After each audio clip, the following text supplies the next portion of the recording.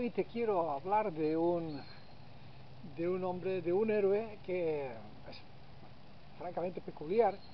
Eh, su nombre es Miguel Hernández. También es un hombre que vivió aquellos momentos tan eh, dramáticos de la Guerra Civil Española.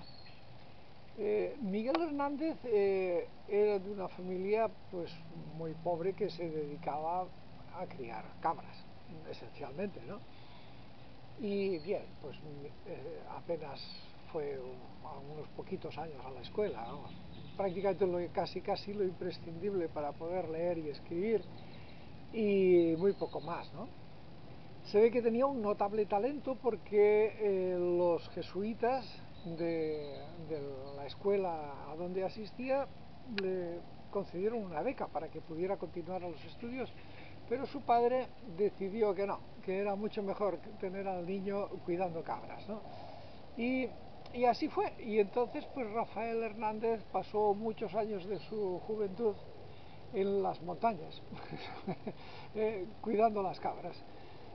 Para ese entonces, pues había conseguido ya despertar su inquietud intelectual y sobre todo, pues un sacerdote le prestaba libros y le le apoyaba a que se fuera autoformando a través de la lectura y empezó también su interés por escribir poesías y bueno, al principio las escribía a mano, después con el tiempo fue capaz de comprarse una máquina de escribir y entonces se llevaba la máquina al, campo, ¿no? mientras cuidaba las, las cabras pues iba eh, tipeando eh, sus, sus poemas. Bien, los iba, mandaba a sitios, trataba de publicarlos y poco a poco se fue haciendo un nombre. Eh, su poesía era eh, bastante peculiar porque, claro, no tenía una formación literaria, pero mucha gente y literatos se dieron cuenta de que era un, valor muy notable y le, dieron apoyo, le dieron, consiguió ir a Madrid y bien, pues... Eh, así fue avanzando muy lenta y trabajosamente en los primeros pasos de, su carrera, ¿no? Eh, al principio sus poesías, pues como había estado um, muy fuertemente influenciado por sacerdotes, eran unas poesías eh, piadosas, eh, unas poesías de tema religioso, muy buenas, por supuesto.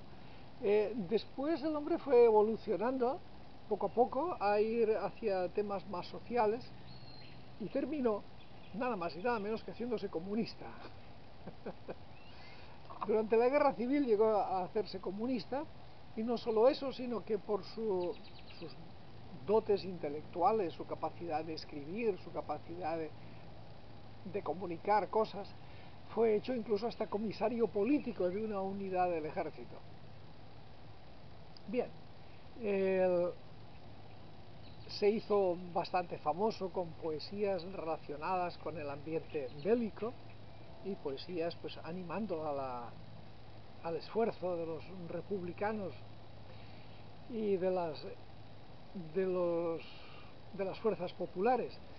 Bien, cuando terminó la guerra, pues el hombre se quedó atrapado, intentó escapar a Portugal, pero el gobierno de Portugal era una dictadura muy amistosa con el fascismo y se lo devolvieron a Franco. Entonces, eh, Miguel Hernández fue juzgado y condenado a muerte.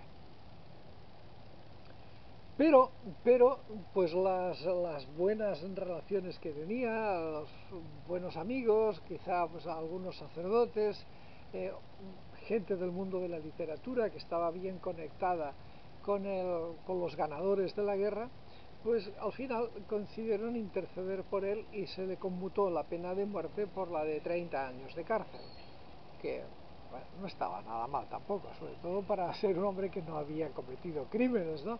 o que sus crímenes más grandes eran escribir poesías.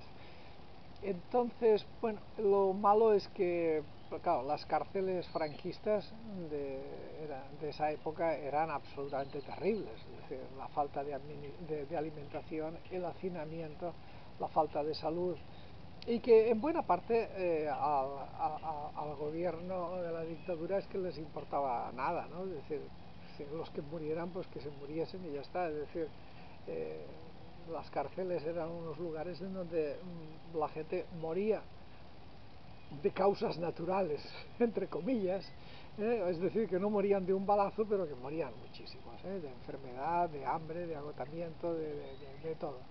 Bueno, pues eso le tocó a Miguel Hernández. Miguel Hernández, pues después de haber estado en lugares extraordinariamente fríos, al final pues eh, murió con una bronquitis que se complicó y, acabó con tuberculosis y, se murió. Simple y llanamente se murió. Miguel Hernández. Eh, pues es un hombre que a mí me parece, a mí me llama la atención como héroe, pues porque primero porque por su esfuerzo por autoeducarse, por su enorme esfuerzo. Segundo, por su transformación, de llegar a, ser un hombre, un comunista, un hombre totalmente entregado por, una causa de, la justicia hacia el pueblo. Eh, y, la calidad de, sus, de sus poemas es realmente notable. Es decir, para haber sido un autodidacta llama mucho la atención. Hay un disco de Juan Manuel Serrat que es muy famoso, que es justamente dedicado a, poemas de, Miguel Hernández, que son realmente muy bonitos. También eh, por la temática a veces son muy desgarrados, pero, pero lo son, son, son muy bonitos. Bien, eh, hombre, no, es, no está así como si dijéramos al mismo nivel de los grandes, grandes como eh, Melchor Rodríguez o Federica Montseny, pero creo que es un hombre que vale la pena tenerlo en cuenta y recordarlo, pues porque es un gran, eh, eh, desde luego, de entre los poetas españoles es uno de los que a mí me gusta más, pero con, enorme diferencia. ¿eh? Es, es realmente muy, muy notable. Bueno, pues esto es todo, cuídate y seguiremos hablando de nuestros héroes. Hasta pronto.